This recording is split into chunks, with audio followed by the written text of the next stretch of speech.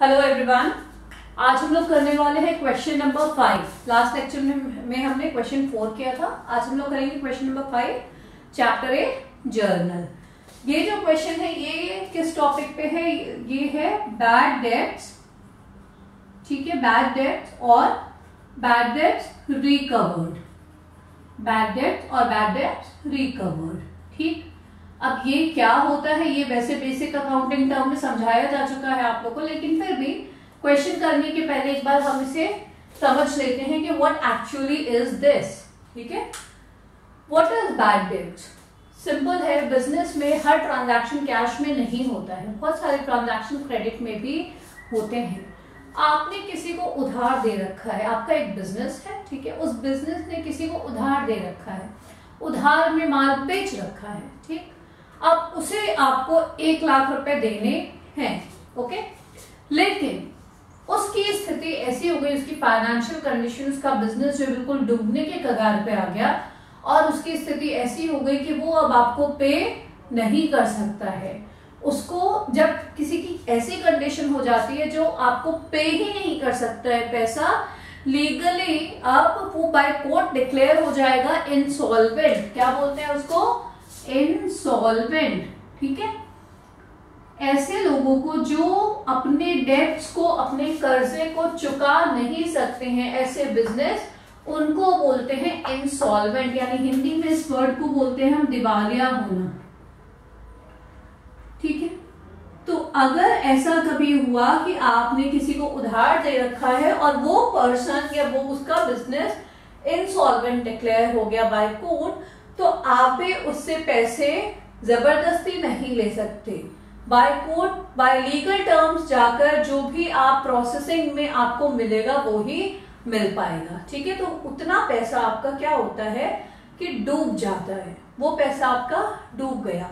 Simple है, आपने किसी को कर्जा दिया, वो चुका नहीं पाया और वो पैसा आपका डूब गया। ठीक है? पर ये सारी प्रोसेसिंग लीगल होती है। ठीक है?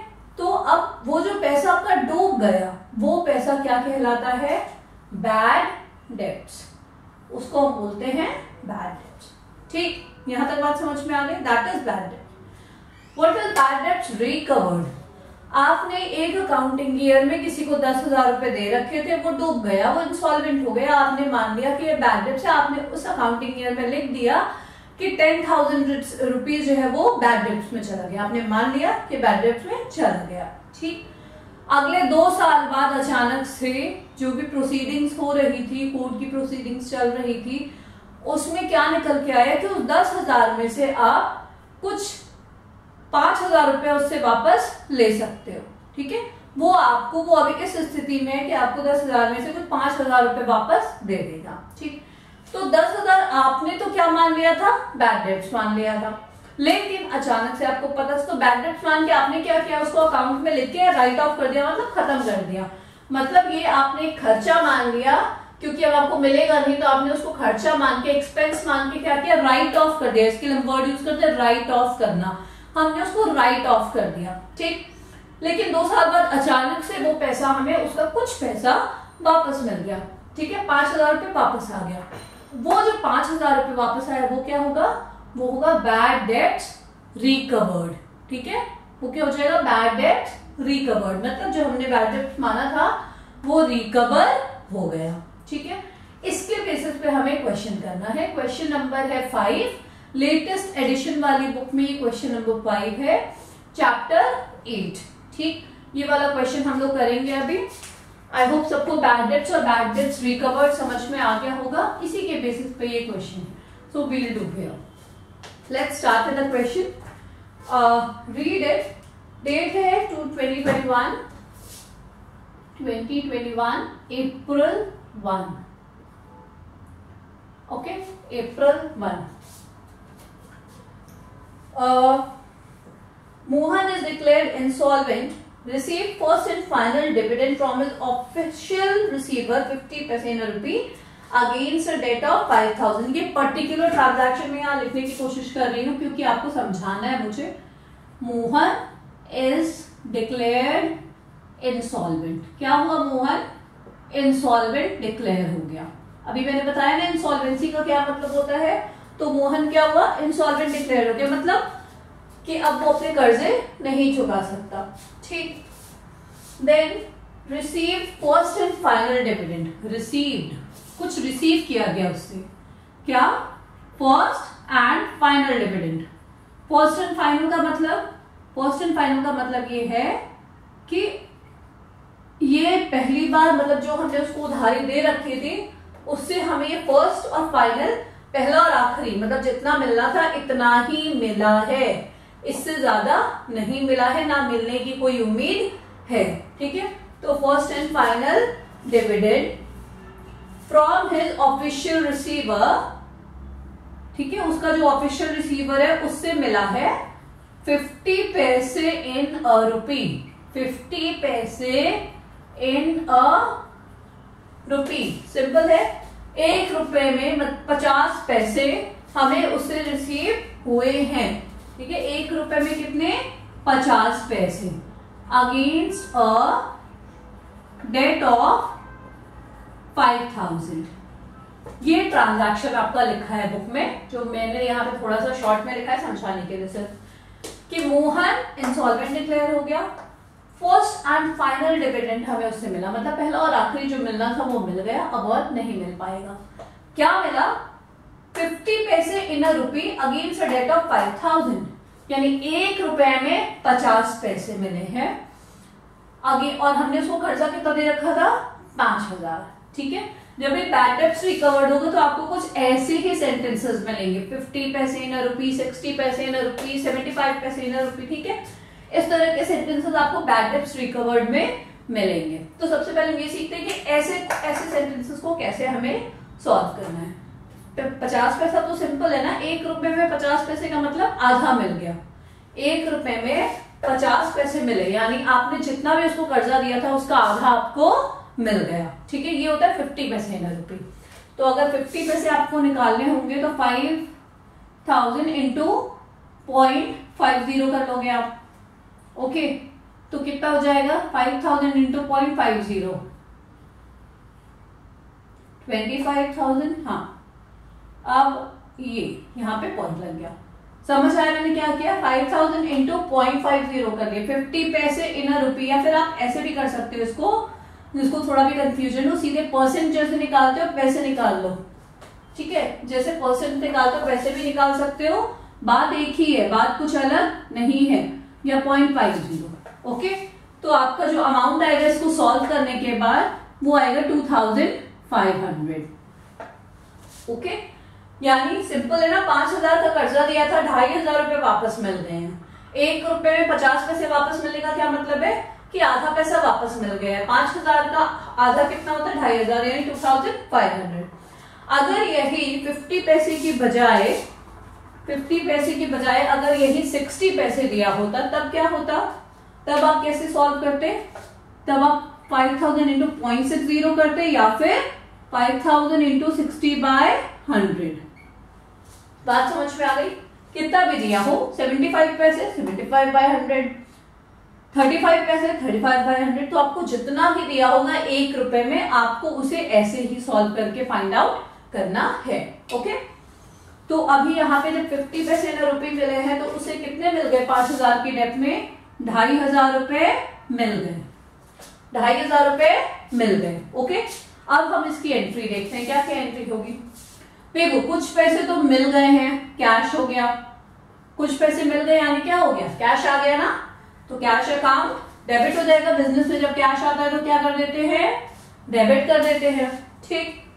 कुछ पैसे डूब गए, भाई पाँच हज़ार दिया था। आधा ही तो मिला। आधा अभी बचा हुआ है।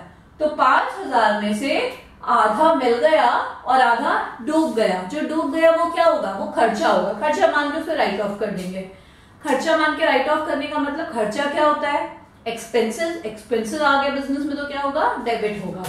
और उस खर्चे को हम बोलेंगे क्या? उस खर्चे को बोलेंगे बैड डेट्स फाइन तो बैड डेट्स अकाउंट भी डेबिट हो जाएगा। समझ आई बात?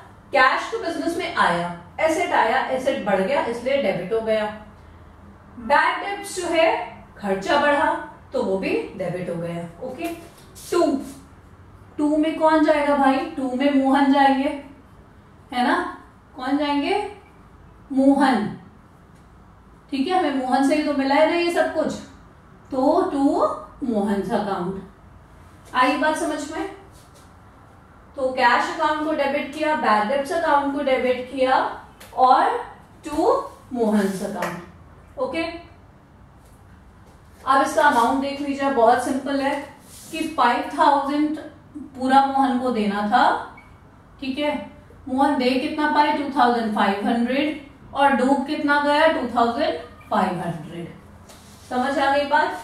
तो ये होगी आपकी एंट्री और ये ऐसे हम लिखेंगे इसका अमाउंट इसमें आप नरेशन कैसे लिखेंगे? Fifty paise in rupee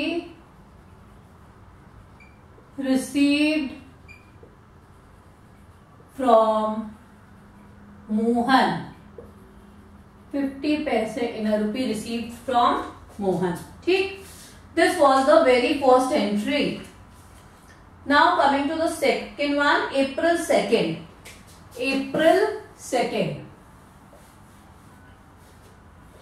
क्या है transaction eight thousand due from Ramesh is not recoverable eight thousand eight thousand due from Ramesh is irrecoverable या नॉट रिकवरेबल बात एक ही है ना इरिकवरेबल या नॉट रिकवरेबल तो आठ हज़ार रुपए रमेश को दिए थे, देने थे, उधार उसने ले रखे थे हमसे, वो उन्हें हमें चुकाना था, लेकिन अब वो नॉट रिकवरेबल है। अब वो नहीं दे पाएँगे, ठीक है? अब वो नहीं दे पाएँगे सिंपल तो क्या होगा इसमें भाई? अब वो पैसे उन्होंने हमसे लिए थे, लेकिन अब वो नहीं दे पाएँगे। बात क्लियर हो गई है कि हम नहीं दे पाएँगे। तो क्या करेंगे हम? बैड मान लेंगे? मैंने पहले ही बताया, जो पैसे डूब गए, ये जो पैसे डूब जाएँगे, वो कहा चले जाएँगे? बैड में। तो ये हो गया बैड अकाउंट बैड को हम डेबिट करेंगे, क्योंकि एक्सपेंसेस मान लेते हैं इसे। और कौन है यहाँ पर? कौन है? किसको दिए थे हमने? हमने रमेश जी को दिए थे। तो रमेश जी जो है वो क्रेडिट हो जाएँगे। To Ramesh account. आई बात समझ में? कितना रुपए? आठ हज़ार था। सीधे सीधे आठ हज़ार लिखेंगे। इसमें कोई अमाउंट का कैलकुलेशन नहीं करना है। ओके आई होप यहाँ तक कोई कंफ्यूजन कोई भी तरह का कंफ्यूजन है क्या? और ये हो जाएगा आपका बैड डेब्ट रिटर्न ऑफ़ इसी को बोलते हैं हम कि हमने बैड डेब्ट को खर्चा माना और उसे राइट ऑफ़ कर दिया। तो बैड डेब्ट रिटर्न ऑफ़ ठीक है? Now moving to next transaction Shyam, who owed 15,000, became insolvent and 50% is received from his state. Shyam who owed 15,000 कोई जनी थे कोई थे श्याम जिन जिन्होंने हमसे ले रखे थे पंद्रह हज़ार रुपए. कितने? पंद्रह हज़ार रुपए। और वो क्या हो गया? इंसॉल्वेंट हो गए। ठीक है? वो इंसॉल्वेंट हो गए। और अब वो स्थिति में नहीं कि वो ये पैसे पंद्रह हज़ार में चुका पाए। लेकिन जैसे तैसे करके, ठीक है, उनसे कितने रुपए मिले? उनसे मिले फिफ्टी परसेंट फिफ्टी परसेंट जो है, जैसे तैसे करके उनसे रिसीव किया गया। ठीक है? जितना उधार था उसका फिफ्टी परसेंट अगेन वही बात है ना, पंद्रह हज़ार उधार था, उसका फिफ्टी परसेंट उनसे रिसीव कर लिया गया है। तो जितना रिसीव किया गया है, वो तो कैश आ गया, और जितना नहीं मिला, डूब गया वो पैसा। वो खर्चा मान लेंगे बैड डेप्ट मान लेंगे तो क्या एंट्री हो जाएगी? डेट क्या है भाई? अप्रैल थर्ड है। अप्रैल थर्ड जो पैसा मिल गया, पचास परसेंट मिल गया है ना तो कैश में आ जाएगा वो कैश अकाउंट डेबिट जो नहीं मिला, जो डूब गया, वो कहा जाएगा? Bad debt account debit to, कौन है ये साहब? श्याम जी हैं। तो श्याम अकाउंट इन्होंने हमसे पंद्रह हज़ार लिए थे और अब हमें कितना दे पाएँगे ये? पंद्रह हज़ार का फिफ्टी परसेंट पंद्रह हज़ार का फिफ्टी परसेंट इतना आपको माइंड में कैलकुलेशन आना चाहिए पंद्रह हज़ार का fifty percent seven thousand five hundred होगा। ठीक है? करके देखने की ज़रूरत ना पड़े, इतनी प्रैक्टिस कर लीजिए। ठीक है? So it is seven thousand five hundred सात हज़ार पाँच सौ कैश मिल गया। बाकी आधा डूब गया बैटर्स में चला गया। टोटल लेने कितने थे? पंद्रह हज़ार। ओके नरेशन क्या हो जाएगा? यही हो जाएगा fifty percent receive from Shyam narration के लिए आप क्वेश्चन की हेल्प ले सकते हो। क्वेश्चन से आप इजी वे में नरेशन को फाइंड आउट करके लिख सकते हो, ठीक है? फिफ्टी परसेंट ऑफ़ जो क्वेश्चन में लिखा मैं उसी को लिख रही हूँ of Shyam's estate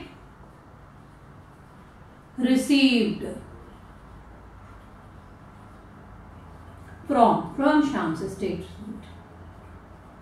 ठीक है? ठीक, बात समझ में आ गई? एक लास्ट ट्रांजैक्शन इस क्वेश्चन में अप्रैल फोर में. अप्रैल फोर क्या है?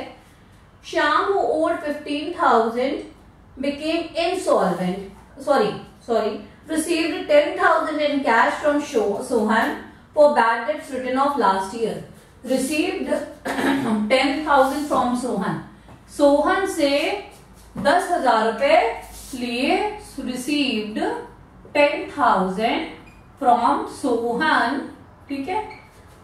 जो पैसे हमने for bad debts return of last year for bad debts return of return of last year मतलब पिछले साल हमने इस पैसे को, इस पैसे को, ये जो दस हज़ार है, हमने बैड डेट्स मान के राइट ऑफ़ कर दिया था। जैसे इस साल हमने इस पैसे को राइट ऑफ़ किया ना, वैसे पिछले साल हमने इस पैसे को बैड डेट्स मान के राइट ऑफ़ कर दिया था। लेकिन अचानक से कुछ हुआ, सोहन जी बोले कि भैया, आपके पैसे अपने ले लो, ठीक है? तो वो पैसे हमारे पास आ गए। तो जो पैसे हमने खर्चा मान के राइट ऑफ़ कर दिया था अब वो पैसे हमारे पास इस साल आ गए ठीक है? तो अब इसमें क्या एंट्री होगी भाई? पैसे आए हैं तो कैश आया है, सीधी सी बात।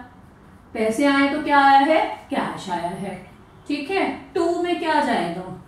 इस तरह के पैसे जो आपने राइट ऑफ़ कर दिया था और अब मिले हैं, इसके लिए हम एक नया अकाउंट खोलते हैं। वो कौन सा अकाउंट होता है? बैड डेट्स रिकवर्ड क्या होता है? बैड डेट रिकवर्ड आई बात समझ में? तो ये पैसा हम इस अकाउंट पे डाल देते हैं बैड डेट रिकवर्ड के नाम पर। ठीक है? कितना रुपए जाएगा?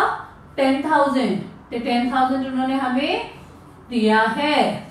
तो नरेशन में भी हो जाएगा बी बैड डेट रिकवर्ड ठीक है? This question is done question number five छोटा सा क्वेश्चन था, लेकिन ये बैकडेप्स के कॉन्सेप्ट का क्वेश्चन था, इसलिए मैंने करवाया है ओके थैंक यू